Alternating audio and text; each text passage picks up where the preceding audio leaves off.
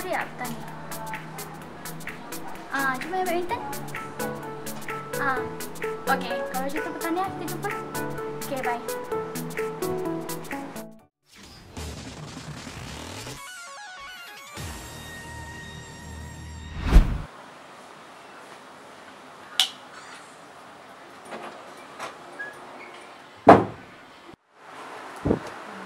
Weh, kau ni kalau ia pun nak main game tukarlah baju dulu. Dia tengah sibuk ni. Kau jangan kacau aku boleh tak? Tong, tong, tong, tong, tong.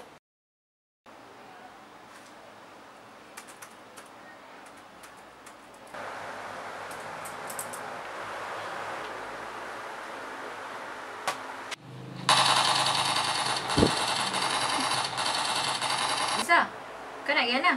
Aku nak main badminton. Kenapa kau naik ke tak? Boleh keluar-keluar sikit. Tak nak. Sebab aku main game. Buat apa main keluar-keluar? Bukan dapat apa pun.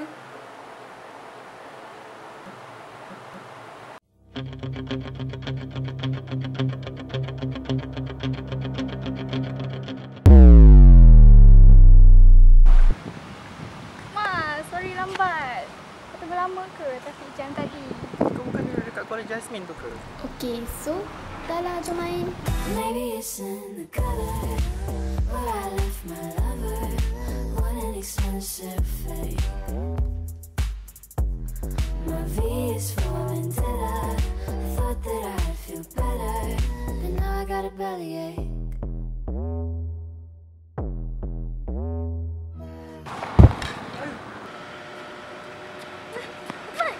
Apa? Seriously? Rasa?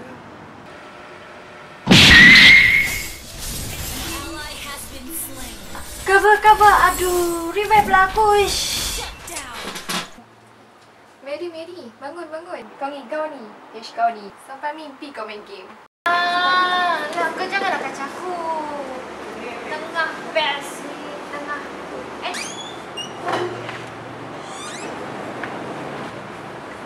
Akmal, kenapa dan kaki awak?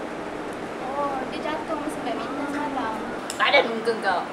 Itulah, aku ajak kau lepak dengan aku main game. Kau tak nak. Kau nak juga pergi bersukan tu. Kan dah jatuh. Kau yang sakit. Hmm. Yang padat lah muka kau. Amboi kau, senang cakap orang. Biarlah tengah pilihan masing-masing. Pandai pula kau nak cakap tu pilihan masing-masing.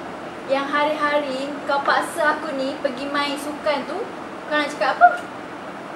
Ah, baik aku main game lagi, okey. What is the chaos, guys? Saza and Lisa were going about their preferences about sport miss. What's wrong with it?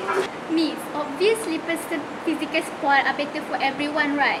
It makes you guys healthier and give more advantage for your life. No, no, no, no, no. It has to be e-sport. It is way more relaxing and safe. Look at Akmal. He hurt himself while playing badminton.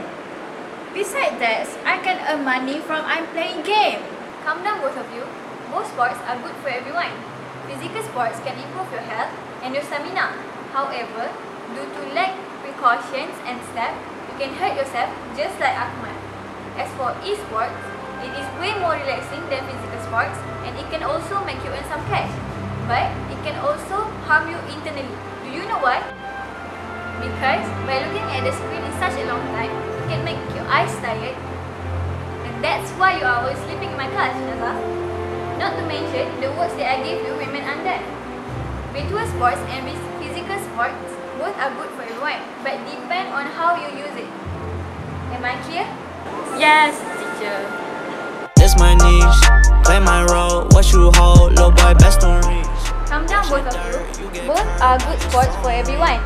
Physical sports can make you healthier. Oh, Enggak, enggak, enggak,